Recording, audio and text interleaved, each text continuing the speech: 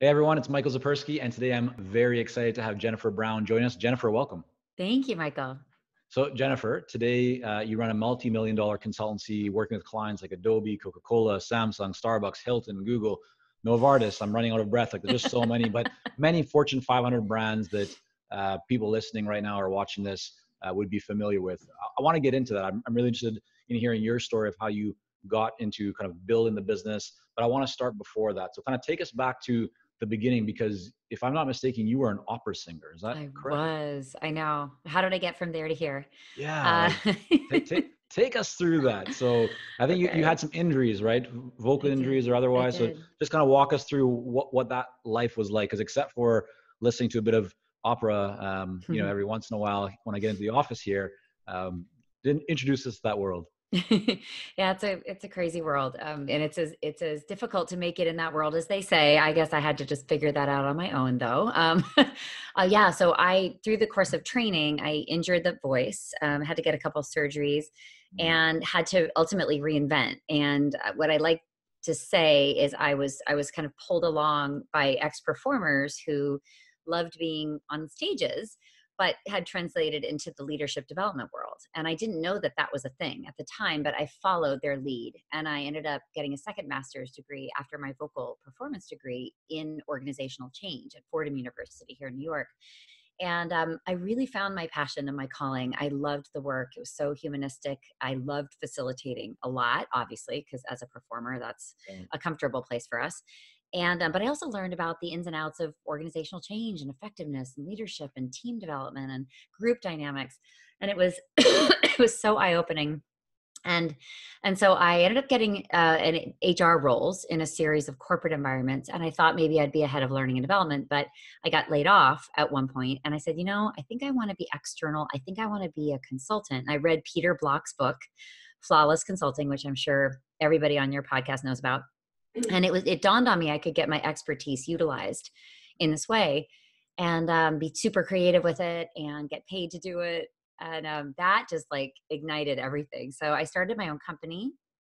I um excuse me i i hung on my shingle got my first couple of clients started to build my team and found this kind of niche in this corporate consulting world with leadership I'm, development. I'm going to jump in because I think we're, we're getting, we're there, you've covered too much ground. I want to give you a moment to, uh, you know, have a little okay. sip of water if you need, but let's, let's peel that back yeah. a little bit. So when you made the transition from the, the opera world, right, in, you met, you said you went out and got kind of uh, another degree. Was that where you started to develop your, your skill set around kind of organizational development, or was it actually when you uh, were in the the workforce and doing the facilitation that you developed it as part of that? That's a great question. I mean, you learn the theory in the classroom, and actually, our program was taught by working consultants. Mm-hmm. So they literally brought in their contracts with clients, and we would use that as a teaching tool. So I could actually see how do you empl- uh, you know use the concepts that peter block talks about like how do you construct the relationship? How do you put the boundaries? What's a statement of work? How do you price for your services? So that was a huge um, aha moment. And i think then the application of it was when i then subsequently would become a trainer and i delivered one year over like 200 programs and soft mm-hmm. skills. Mm. and so that was the like the meat on the bones of how this actually is talked about in the classroom and how do you facilitate adults through the process of talking about like learning how to lead or manage teams or manage time? I taught 20 different topics. Uh, and then but then i think that that becoming a consultant was a, yet another leap from being a trainer. So trainers deliver programs but facilitators like are curious about the dynamics in a group. Were you, were you working me. internally like as parts? Were you at the time when you were delivering the 200 kind of you know sessions a year? I was actually a trainer for hire. Okay. And so i worked for a small training company that designed all the programs for me right. and then i would go forward and deliver them. Okay so that's really interesting right? Because a lot of people find themselves in i think similar situations where um and feel free to grab a, a sip of water there thank you, you. i'm sorry about that. Yeah. um, so what i'm what i'm wondering is you know it, essentially it's almost like you're a contractor right? To a degree mm-hmm. it's you're not having to do any of the business development you're just getting the clients you just show up you deliver you get paid for it. Uh, a lot of people feel that they you know they call themselves consultants but essentially you know they might be doing consulting work but they're really working more like a contractor. They don't have a business they have their expertise that they're they're delivering. And you made that shift right from delivering your expertise to actually deciding to to build a business Mm-hmm. talk to us a little bit about what was going on in your mind why did you decide like what what made you think yeah you know what i don't want to maybe rely on just one source of business or like what was it that made you do go out and build your own business Yeah. I, if you had asked me before I built JBC, like if I wanted ever to be the boss who's responsible for everything, I would have said, no way. You know, I just want to go in and deliver, deliver, deliver, and have somebody else administer the work, sell the work, invoice for the work. And I was just the talent. And I loved being the talent for a long time, actually. And that was where I actually cut my teeth, honestly. It Mm. was like 10 MBAs in the space of a couple years because once you're in these corporate classrooms enough times, you're like, you become really knowledgeable. You know exactly what people are going to say. yeah But I think um I think uh what happened is I got this giant client of my own and I stopped subcontracting Mm. and I LLC'd and um, I, I thought to myself, I've got more work than I can handle Mm. and service, and I didn't want to say no to the work, and you know, so I And how started did you to. get that first client the, you Oh, your, It was oh, actually it was a family connection. okay. Uh, believe it or not, it was just a, a next door neighbor of of my sister who worked for. Um, I'll say who it was. It was Cisco Systems, which Yeah. what a, what a first client to have. sure. And they said, "Hey, I have a team in supply chain. Um, we're all over the world. We do offsites all over the world four times a year. Would you come and be our team development and coach?" Mm. person. And i said yes. And he said can you get on a plane in two weeks? And he said um, you can teach them anything you want. I just here's my goals. Here's where i need them to develop. He gave me the rundown on each leader. He talked about the team. And i literally could take this group and teach whatever i wanted structure the program and i had them for two days in the classroom so it was just incredible it was training but i was designing it i was delivering it i was managing the relationship i was doing all that stuff but i was a team of one so everything was my responsibility and you know that that's not scalable. You can have like 10 of those and you're literally out of bandwidth and running all over and you know it's not productive. H- so how did you um price that project? I mean it was your um, first piece of business that you were running yourself. There was no yeah, you know yeah. no kind of middle person there. So how did you decide what the fee should be for that first project Well, I knew what I had been paid as a subcontractor. Okay. So I knew how much I was being marked up in the Mhm. uh, previous scenario. Yep. So I basically took what I had been paid and like tripled it and did Mm. that markup. And then I counted the number of days I'd be in the classroom plus days for prep. Mhm. And then by the way, traveling to Asia and Europe and all, you know, do you charge for travel? You know, I think what I did is kind of roll an amount together that I felt would cover all that. Yeah. Um, and then put that price in front of them. And at the time, um, they had these like incredible deep pockets. I was so lucky. They didn't blink. Right. So, so Yeah. I was off and running, and uh, yeah, that was that was the aha moment for me to say, wait a second, it maybe it wouldn't be so bad to run the company and not be the one in the classroom, and that was subsequently what I would then build. Love it. Okay, so now let's get into some some more fun stuff. So you got the first client, right? That that's going well. Um, it gives you some insight into what things potentially could be like for you. You mentioned you went ahead and built a team. Obviously, it's grown considerably since then. But talk to us about how did you go from having that first client, which obviously is a well-known brand name, to going out and getting your second, third, fourth, fifth clients? What, what did you do to to start ramping things up? Yeah, I knew that having a client that was responsible for 80% of your revenue is never good. I know I've, I've been paying attention. So, uh, so, but what I did is I leveraged my relationship with them to write some white papers and some thought leadership, um, and some of which are still out there. You can actually find. We did a paper on employee resource groups in the diversity space. Um, and I also presented a lot with my clients at industry conferences. And so um, I think for new consultants, you're trying to build your legitimacy and your credibility. And these really big companies that you have contracts with that love you, you should tell that story because that's your most powerful marketing you could ever do. So I, um, we kind when, of did. when you say sorry in, but when you say tell a story, kind of make that a little bit more tangible for what, what do you mean? What should they be thinking about when you say tell the story? Well, I think if you have a client that loves you, that loves your partnership and what's coming out of it, you should use that as a, a marketing um, vehicle to present, for example, to panel ideas to conferences where you talk about it's literally a case study of what you've accomplished together. Yeah. And so you're literally in this teaching mode of not only we, did we do this work and we had these great results, but we're now going to use it as a case study to teach to the industry.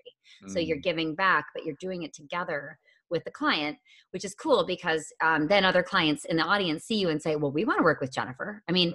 Clearly we want what they have Yeah. and so it just went like this way and i also moderate tons of panels i would always do that for free i'd always offer to conferences like hey like sign me up and i remember i had um, toyota and genentech on one of my panels once on generational diversity neither person i knew and both of them ended up becoming clients Yeah. just from one panel right. and actually continuing to be clients and friends like all these years later and um Mm. it, we, it all started in a conference setting which i'm such a fan of conferences for the best marketing you can ever do. It's like to me the easiest lift.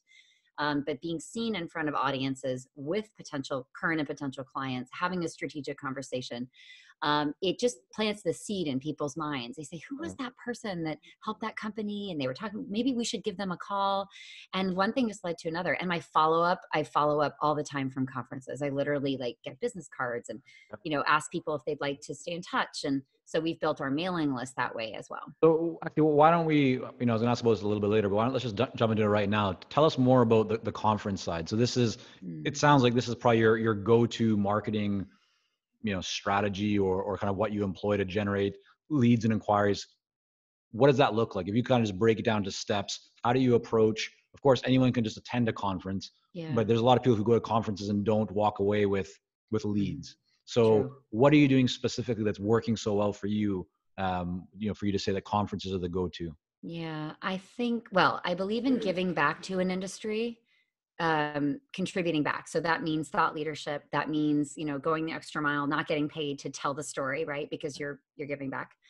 Um, I prepare really well. I never go to conferences really where I'm not presenting, honestly. Like okay, that's so that's the key. it's it's where you where you can be visible. You not have to be the- visible. you're not walking the halls and just taking notes and grabbing a coffee and no. you're you're there center stage or at least in front of a lot of people and and how do you think about which conferences to to go to are there certain characteristics or criteria that you use to decide whether or not you're going to try and be on a panel or speak at a conference Yeah, it's funny. There's a big difference between entrepreneur conferences I enjoy, but they're not Mm. helpful for my business. So so it's all about the audience and Yeah. it's literally putting yourself to swim in the same pool as the people that you want to hire you. Mhm. So I use that criteria. I um I also notice who of my competitor where are my competitors speaking, where do my clients gather, where do they go so that I can make sure that I apply by the way 6 months earlier when they do the call for speakers. You have to be Yep. really organized. So my team Mhm. maintains a spreadsheet and we we literally get those applications in and we also um, pitch a lot of creative ideas like it'll be my keynote and then it'll be a panel on this emerging issue or a panel with other leaders on this em- this emerging Mhm. issue so sometimes we'll pitch like three or four ideas with different combinations of clients and people in my network Yeah. and then the organizers will give the green light to usually one or Mm. two And what if someone's listening to this and going, okay, well, Jennifer, this works for you because you've done it for a while. You know, you've written the book, you got these big name clients. Take us back in time. If someone maybe doesn't have a very well-known brand right now as as a client, but they're doing well in their business or whatever, they might, might be even getting started. What would you suggest to them as a way that they could actually start getting getting into conferences, being on panels, or or speaking at them? Yeah. So you always know, you know, one or two friends, I think, that share maybe a passion around um, something that's not being covered in an industry, right? Right. So what would make your message unique? And it Mhm. can be a case study, or it can be like academic research, or it can be like a workshop that you build. You know, I've built a ton of stuff for conferences and run it, you know, for the first time. Yeah. Um, conference attendees are always willing to learn and they really want to like, they want to play, they want to be interactive, they want to network with each other. So I find it to be a really energizing audience to pilot things with. Um, I also would say cozy up to the organizers. So always know the head curator of conferences if you can. And you earn that, by the way, by going to the conference and kind of finding that person, introducing yourself, you know, putting yourself in front of them, and then applying perhaps the next year so that they have a name with a face. So unique value proposition, make it interactive, solve a curator's problem. Every conference organizer is always Mm. trying to make sure they're kind of covering the industry and you know if you bring up something that you've done your homework on to say you know i don't see a lot of speakers on this or on this like let's do something let's put something together um you know that can get you in the door Really good. That's awesome. Um, so let's now go back. You, you were you landed kind of your first client, then went off and, and got the next few clients. At what point did the business model change for you? Like, at what point did you decide, okay, we're we're delivering the, these trainings, uh, but I want to go like beyond that. Did you, when did it change to a different format or, or, how did you actually start kind of scaling the business? Yeah, I tried for many years. Um, I, well, first of all, the what, Cisco what, did you, client, what did you try? Tell us about that. Yeah, the Cisco client said to me one day, you know, you don't have to be the one that comes and delivers. You oh, can send somebody else in. And right. I was like, what? so that was the seed. I was like, oh, yeah. okay. So now I'm going to start working on the business, not in the business, like I often say, stealing that from eMyth. Mm-hmm. Um, and I can then focus on marketing and sales right. and building relationships and thought leadership and our brand. So I started to send people in. I started to hire operations staff. So I always had a CFO, COO. I had a marketing assistant. Social what media stage people. was that? Like, kind of where where were you in terms of number of people and revenue when you started to bring on those more strategic yeah, roles? Good question. Uh, I would say, I think if your revenue is like five hundred grand, Mm-hmm. you have the wherewithal unless you like need to pay yourself you know the bulk of the, fine you know that can be your choice but for me I paid myself and I always like underpaid myself, I'd say, which is probably not good. Um, but I did. And I took every cent I had and put it towards team. So I put it towards people who would build the processes and systems behind us, get people paid, yeah. um, do contracts, things that I wasn't good at. I knew I needed to make sure I had people doing. And I started with part time people. It wasn't always full time, it was not employees, it was just 1099s. You know, so I built I started to have like two, three, four people, I'd say, in those early days. And then when you cross a million, you can start to have a bigger team. You know, you can start to have maybe seven or eight people, or maybe even more, depending on if people are part time and full time. Mm. Um, and then the team kind of switched over the years. I ended up, so I have client facing consultants who are always 1099s because they've got other projects i still have that today they're professors they are deans of colleges like they have they're kind of splitting their time and they love that and i love that like mm. i want them to be in the world and having that variety so that when they do work for our clients they're um yeah. they're fresh they're current but sure. then i have like a whole infrastructure team right now of senior people and junior mm. people and the senior people are really critical because they're the ones that like manage the business, the consulting business. So I can go write books, keynote, and I have a whole separate team that assists me with like my speaker business. Even though it all rolls up to the same, it's it, we sort of bifurcate it between my brand as an author speaker and the work that the consulting company can do and they literally feed each other now so we have a team of 25 people or so um, and yeah we're it's really i think it's really working well and i love what i love about it is as a speaker and an author you can plant a lot of seeds but i love that we have a fulfillment mechanism where we can actually follow through and do the work that i'm talking about on the front end right. and to me that feels like impact you know it's not right. just a shiny object it's literally like and and we will roll up our sleeves and help you actually build yeah. this and make it happen so a lot of consultants who are in a similar place like their you know revenues are growing uh, they're feeling like they're starting to hit capacity but there's fear in terms of going out and and bringing on new people right? It's mm-hmm. do i really have the ability? Is this going to be sustainable? There's lots of challenges that people have around building a team. Yeah. What have been some of the hmm. you know best practices or just if you were to give some advice to someone who is doing well they but they're getting to that place of capacity uh, they want to hire someone or, or several people but they don't actually know how to go about it or they're facing some fears like what, what advice might you offer someone in that position yeah, I think that a lot of founders, founderitis might be that you always have to be doing the work yourself and that you're a control freak. And that is not me. Founderitis, I like but it. it's yeah. a ton, but it's yeah. a ton of founders. Um, I was lucky that I was kind of tired of the work a bit. Mm. Like I mm. really did want to work on the business and um, grow it. Yeah. And um, other people were very happy to come under my banner and just do the work because they didn't want to sell the work so it was this really nice synergy and i think you just have to be honest with yourself like mm-hmm. how if you are going to grow your company bigger it means you're going to have to take yourself out of the day to day and some people would cry if you took the work away from them. I mean literally that's like why they exist.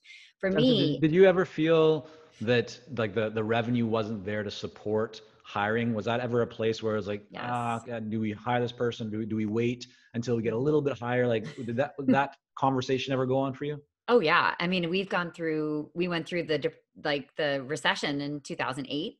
I had yeah. to literally like tuck my wings in, lay off most of the team and literally started to had to like dial for dollars and deliver the work myself because I couldn't mm. afford anybody else. So I had to literally go back into the classroom. Right. Which you know was really hard and heartbreaking because you just don't expect that to happen but you've got to maintain kind of a variable structure so that you can tuck in and god forbid if we have another recession next year you know we may have to do hopefully it doesn't get back to that point but every time you go through these troughs and hills and valleys you i hope that you sort of maintain your basic infrastructure but you should mm-hmm. always be planning how could i make this company half the size it is like tomorrow if i had to like you yeah. you always have to be ready for that and my topic and field is so kind of discretionary like it's such a nice to have like i think a lot of businesses are like you know, oh, well, we can do away with that or we can stop doing this for a while or whatever. So we're very, very subject to budgets and the economy and how comfortable people are, you know, with their jobs. Yeah. And so, anyway, it's really scary, but I would say that's why you keep a 1099 portion of your team. And that's why you should always have a plan B to say, like, if I do need to get more hands on and I do need to do things myself, what would that look like? So I think that that actually that message um, it would resonate with a lot of people in terms of discretionary. So you're you're playing in kind of the fields of inclusive leaders, adversity. Um, others might be in different fields, but also that maybe their work they it's not just like sales growth or cost reduction. It's not as, as hard, right? Right. What have you found uh, is critical from a marketing or a messaging perspective that has just been most successful for you in terms of actually being able to to win business, um, even though you're kind of dealing with something that is discretionary, that isn't maybe key to the growth mm-hmm. of the business, or at least top, not top of mind for a lot of leaders? Oh, it's so hard. Um, yeah, our field is really small, and I know all my competitors, most of them.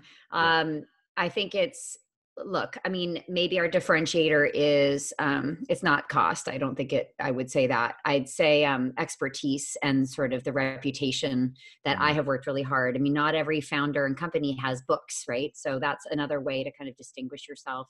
White papers um, being quoted in major media or in like research papers um, and having an amazing team that has a great reputation, which I think we do, and we've worked really hard to have, is that precedes us um, I'm always speaking and people are like, oh, I saw her here and I saw her there and I heard her interview here and like having a podcast. I have one and I'm on them all the time. So we've really, really invested in getting the word out in multiple channels. Um, and I'm just lucky. Sounds like thought I, leadership is very big for you. It's really big. I, I yeah. think that when you're selling people and knowledge and not widgets, you've got to create a reputation that's strong and um and you like i said earlier you got to give into the field like you you have to be a trailblazer. And so people look to us to say, hey, what's next?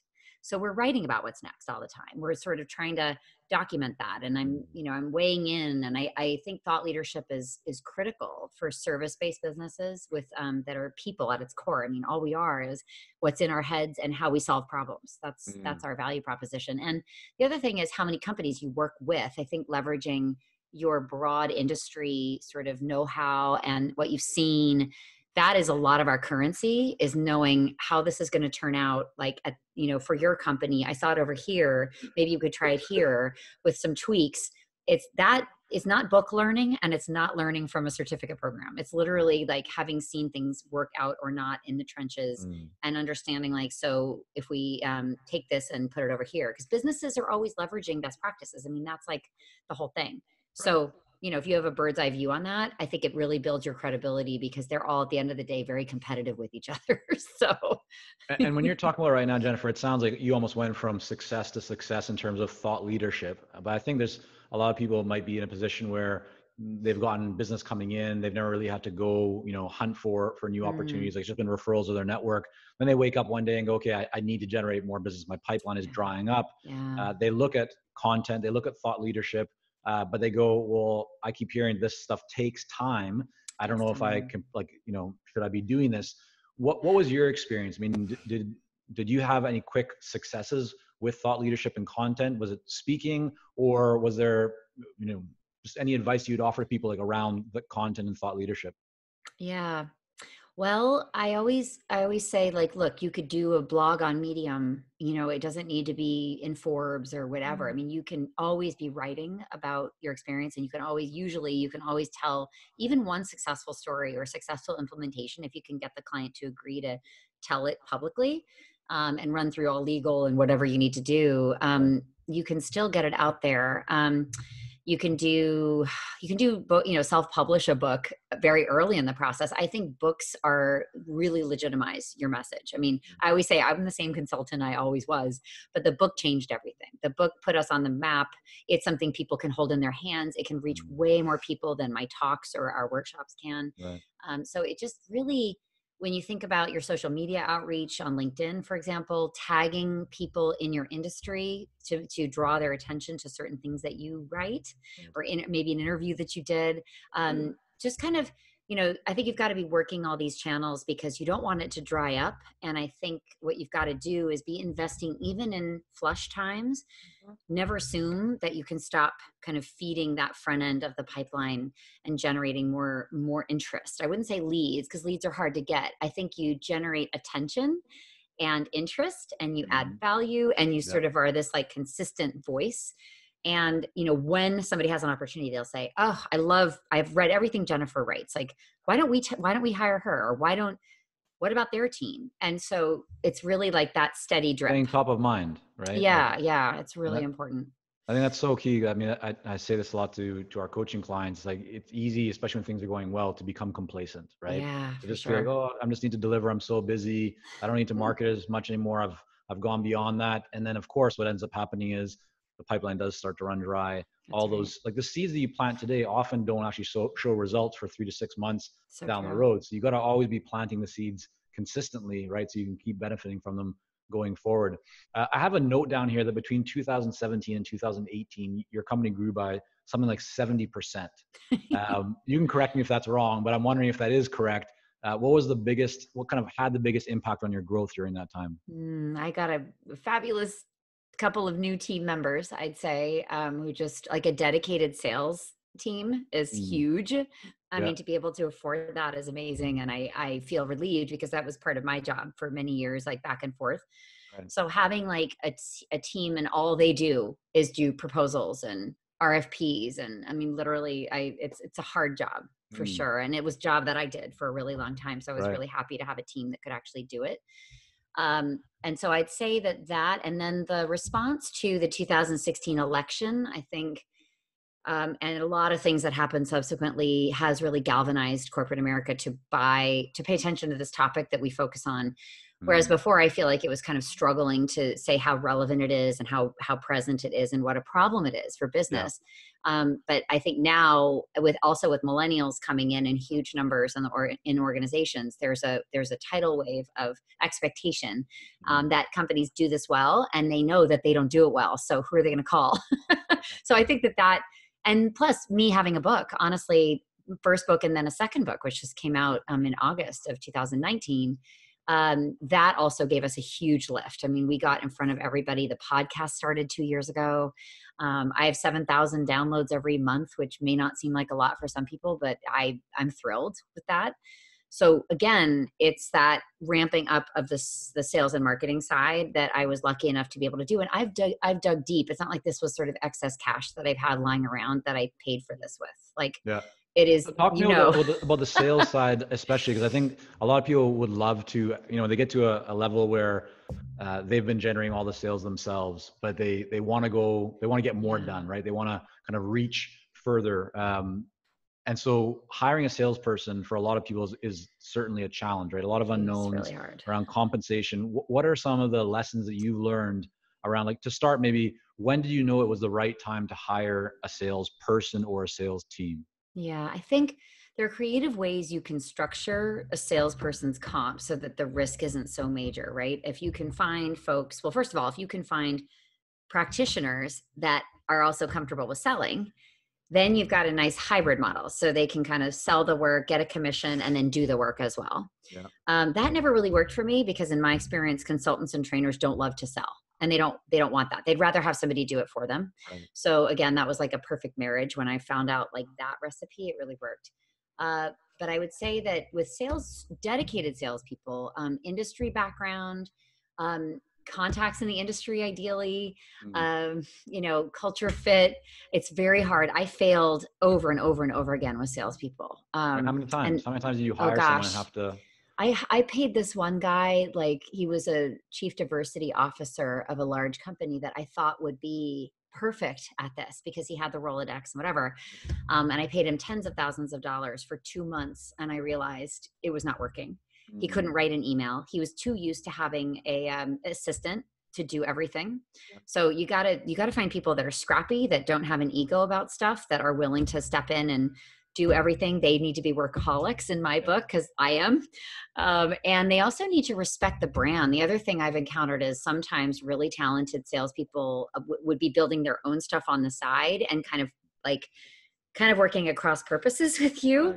Yeah. So I, I also have encountered, I've had people steal clients from me. I've had, um, it's been really, and it's going to happen. Some of that's going to happen when you trust people to lead your business.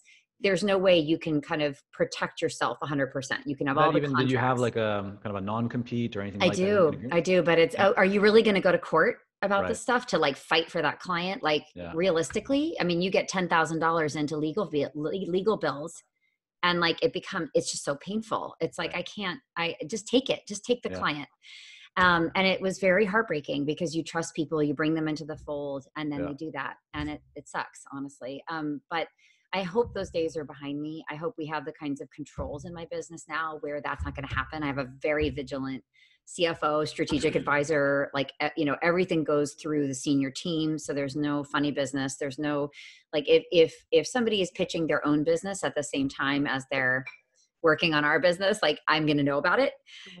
because we have those checks and balances. But i think when i was first building the company i couldn't be everywhere at once and i didn't have people looking out for that side of the business and sort of making sure that everybody was behaving appropriately. And it's just very difficult. I mean particularly i'm sending people on planes to go into classrooms you know and deliver our stuff. And it's it's just been i have held the vision but i'll tell you it has felt very risky what i've had to do in order to build my company to the point it is now. Um, risky financially i've made huge investments. Some have backfired. People have stolen clients. And yet like now we are in this really really knock on wood great great space where everything is finally working after about a decade and, and Jennifer, knowing what you know now, uh, you know, if you could go back in time, would you hire a salesperson earlier, or do you believe that it, it was critical that you were doing the sales, that you were doing the market, that you were kind of leading that up to get it to a certain point first, and that understanding is what ultimately led you to be able to get the right people in place? Yeah, I honestly did a ton of the work for years. Um, I didn't like it. And I think that it was a necessary evil in order to reach like the bigger vision, which was to have a bigger footprint Right. and, and have a bigger um, impact, honestly, Yeah. which is what gets me up in the morning. So, um, so I'd say, unfortunately or fortunately, it has to be you doing everything. I think for me, the easiest things to start to job out were the delivery piece, like, is that I could feel like I could manage. But I, I think what I was at a deficit for is like not knowing what a good salesperson really looked like. Like I, or not knowing what a good COO should be doing, um, or not knowing whether I have a good CFO or not. And as I started to build, I had to kind of, I had like lots of fits and starts with the wrong people. And then I think knowing when do you need to cut somebody loose because it's not working. Um, you know, how do you know when you're a new leader and you haven't been down this road before? How do you know when somebody's not the right fit? Because you just want them to work so badly. so And, Um, and what have you found? Like, how have you gotten those answers? Is it just trial and error? have you been reading books? Are you working with coaches and mentors, ta uh, tapping kind of your your network and connections? Like, how have you been able to get answers to those questions? yeah, it's tr- it's all those things you just said. It's Okay. It's trial and error. It's yeah. um it's trusting your gut. Like if your gut Mhm. is telling you that something's not right, but you really want to believe that it's right, I think you Yeah. need to listen to your gut. Yeah. Um, you need an, a board of advisors that only has your best interests at heart. I would say that was like the biggest, and I don't know who those people would have been, Mm. but I do think if you have the opportunity, get people that have your back, that have been down the road before, that really believe in you and your vision, um, and who you can run like new hires by. You can run comp strategies by. You know, really think of it as the people who are going to keep you safe, so that you don't make those costly mistakes. Um, make sure that it's not just your eyes that that are seeing everything. That you've got like several sort of points um, of review and um and and listen to those folks i think that that was that would have probably helped me a lot but um what else did how else did i learn i with each person that was a failure ultimately i still learned a ton about what i really wanted versus what i didn't want so i think over 10 years you get kind of closer and closer to the ideal people um, and, and, I'm not sure there's a shortcut for that, honestly. there, there, there, usually isn't, right? Shortcuts don't don't no. usually exist to the degree people want them. Okay, two other quick questions for you. So you talked about brand briefly, but your company is called Jennifer Brown Consulting. Mm-hmm, uh, mm-hmm. Some people advise against right using your name yeah. in business in case you want to sell it or exit the company. What are your thoughts on that? Yeah, that's such a. I knew you were going to ask that question. um, we've talked about that for many years and gotten mm. a lot of conflicting advice. Um, Accenture at one point was mentoring us as a company and said, you know, the Jennifer Brown name is where all the equity lives, like in the in the marketplace. And so we were like, okay, well, let's keep the full name. We were are referred to as JBC though in sort of our casual uh, conversations and our work with clients. So I think at some point the that we may consider that name change to differentiate it and take the person out. But I'll tell you, many people ask me, don't people expect you to walk in the room when it's your company because your name is on the door? And we've actually transcended that.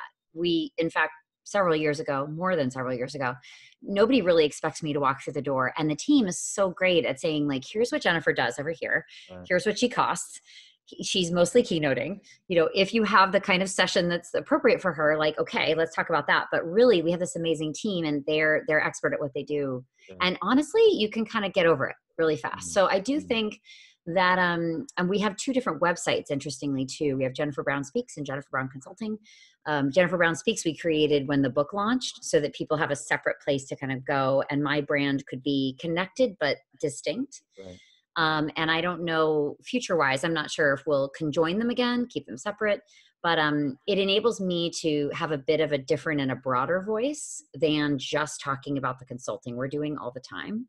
Yeah. So I think that you you have to play with this sort of the if you have multiple businesses and you're across them, um, you know, doing that brand analysis. And um, I think I think at some point we'll probably we'll probably shift the name because I want the company to be able to stand on its own and I want mm-hmm. it to have its own identity to a degree. And I want the consultants to be front and center and the stars of the show. Yeah. And I think that um, I am in service of them. Honestly, I feel that I'm all the work I do is to enable them to have as much work as they want so that they can mm-hmm. go and do their goodness in the world. And I'm behind that. So so I have a different kind of mentality as a founder that I don't always have to be the top subject matter expert. And by the way, I've never been the, the only and the best. Like mm. my team knows so much more than I do and different and different. Sure. Like, yeah. and they would solve problems differently than I would if I were the one in the classroom dealing with the client. So I love that. And I think that high trust, you know, is something that probably a lot of founders are uncomfortable with. Um, and I'm also very much not a rubber stamp kind of boss to say, I want you to solve problems like in the way you would solve them, not in the way I would solve them. Because mm-hmm. there's no, in my work, it's Peter Block, right? There's like not really one answer. it's a lot of different ways you could go. So, um, yeah. so I love that dynamic. I feel like I work for the team members, and I'm out here trying to generate as much business as I can, so that we can make more of an impact and we can have as many arms and legs um, as we possibly can so that we can influence the whole conversation, which is the there goal. go. Fantastic. Well, you answered my second question, which, which is where should people go to learn more about you and your work? But is one of those websites better than the other? I mean, wh- where should we direct people? We, will link yeah. up both or kind of both URLs, but is there one that people should remember? Yeah, I mean, your audience is a lot of consultants building their own businesses. So they may be less interested in Jennifer Brown Consulting because it's more of that, that's the B2B, like mostly corporate right. uh, website, right? It's like sort of okay. here's the team. Although, you, although I think people we're, we're going to link up both. Let's just make it easy. We're going to have yeah, link Jennifer Brown totally. speaks and Jennifer Brown Consulting. Um, sure. It'll be the full transcript, the show notes. Jennifer, thank you so much for coming on. Really thank you so much. I have enjoyed this a lot. Thanks for asking all these great questions. all right. Thanks. Talk soon. Thank you.